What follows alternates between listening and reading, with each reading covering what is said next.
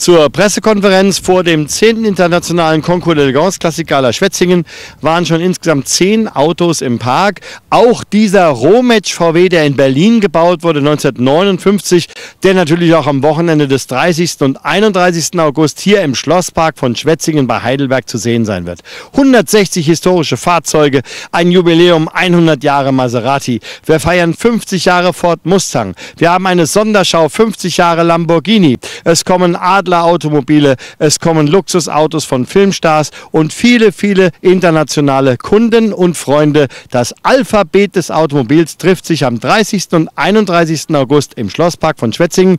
Sie können dabei sein. Es kostet nur 5 Euro Eintritt und Sie erleben Automobilgeschichte live. Ich möchte einleitend sagen, wenn man nur eines dieser Autos nehmen würde, die da jetzt draußen stehen, und würde an einem beliebigen Tag hier vor einen Kaffee fahren oder es einfach nur hinstellen. Es würde sofort Begeisterung auslösen. Ganz viele Leute würden kommen und sagen, ach, es ist schön, es ist was Tolles. Und äh, wir machen nun etwas, was es sonst nirgendwo gibt, obwohl es ja viele Veranstaltungen für Oldtimer gibt.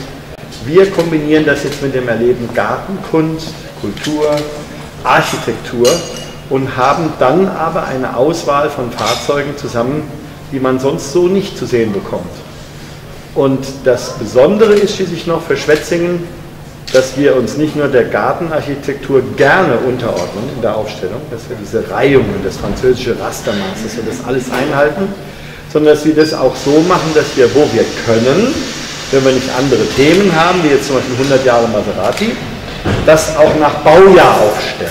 Denn wir wollen gerne, dass das Publikum mit uns so ein bisschen Zeitreise macht dass sie wieder, wenn sie reinkommen, die Uraltautos sehen, die Schnaufer, wie alles anfing und sich dann äh, im Uhrzeigersinn im Park rum so langsam die 20er, 30er Jahre aufklappen und wir dann hier hinten oben drüben auf der anderen Seite irgendwann mit den 70er Jahren enden.